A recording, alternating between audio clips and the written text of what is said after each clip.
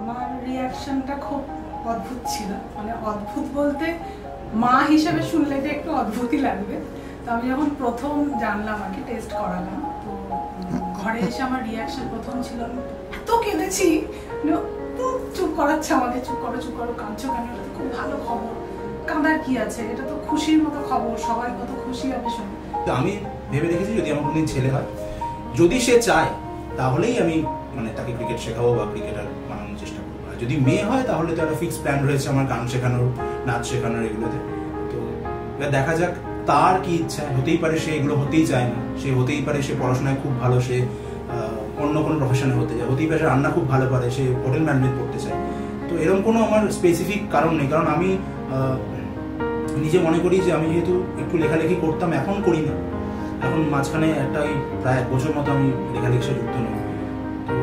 আমি যখন সময় পেতাম লেখালেখি করতাম আমার নিজের থিয়েটার দল ছিল একটা বারো বছরের।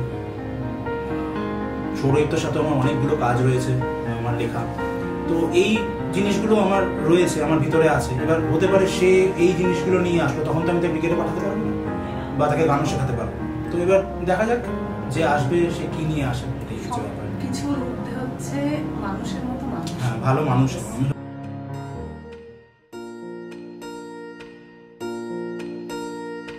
तेरी मैं बलाएँ लूँ, तुझे मैं दुआएँ दूँ, तुझको मैं खुशियों के साए दूँ। ख्वाबों को सजाए तू, आँखों में बसाए तू, तुझको मैं दू सब जो चाहे तू।